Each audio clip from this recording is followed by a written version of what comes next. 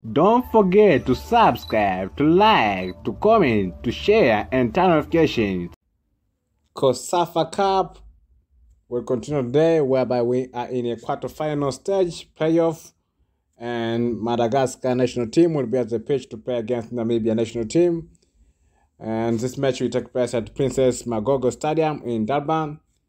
Let's start with the head-to-head matches, whereby in the last five games of head-to-head matches, Madagascar national team has been able to win in six games, and Namibia uh, national team has been able to win in two games. So it seems like Madagascar Madagascar national team has a good has a good chance to win when, when they play against Namibia, and they have good history of winning against Namibia.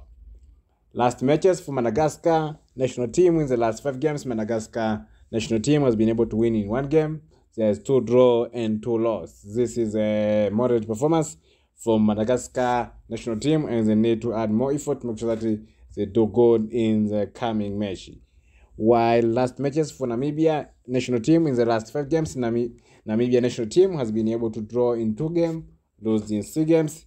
That is a bad performance from Namibia. And that is all. Thank you. Don't forget to turn on notification for more upcoming news there. Also, don't forget to subscribe and also don't forget to like. Thank you. Have a good day.